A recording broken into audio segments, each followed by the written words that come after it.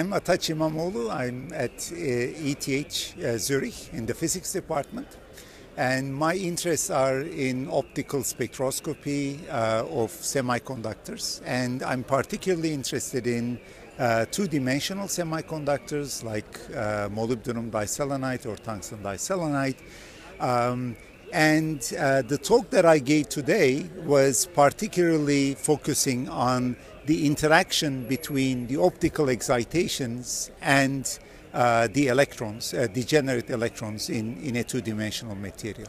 So uh, several groups have been analyzing these excitations in, and, and characterizing in terms of uh, them in terms of excitons and trions.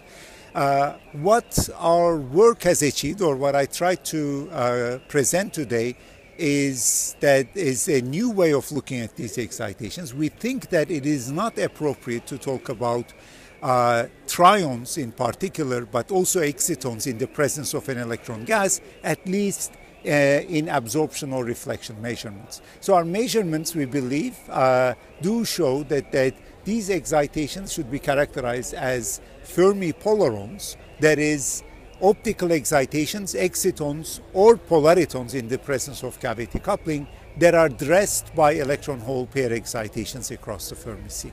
And this new perspective is important in terms of uh, not only uh, a better understanding the properties, but also uh, to be able to characterize the transport properties or in experiments that combine optics and, and transport.